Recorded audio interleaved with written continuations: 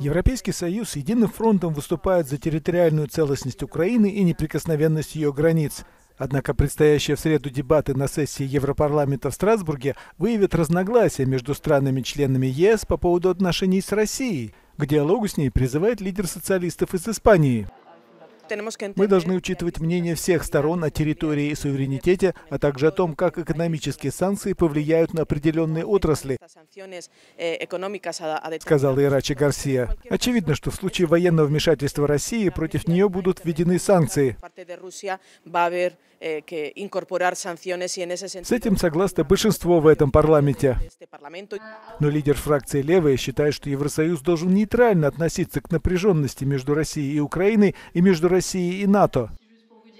С одной стороны, Владимир Путин прибегает к провокациям, отправляя войска на границу. С другой стороны, НАТО и Соединенные Штаты провоцируют его, когда хотят расширить НАТО до границы с Россией, сказала Манона Бри.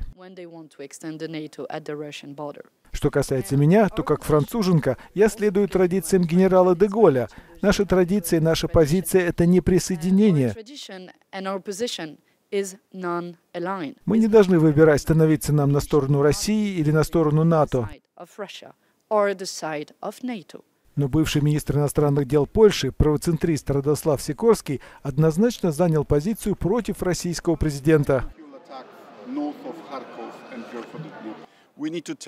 Надо ему сказать, что если он вторгнется на Украину, то получит партизанскую войну, которую мы будем поддерживать, если понадобится 10 лет. Мы заберем личные деньги Путина, которые прячут его виолончелист и его повар, а его олигархи в налоговых гаванях в западных банках.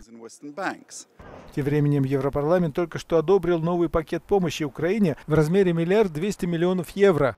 Депутаты обосновали это тем, что опасения по поводу потенциального российского вторжения уже наносят ущерб ее экономике.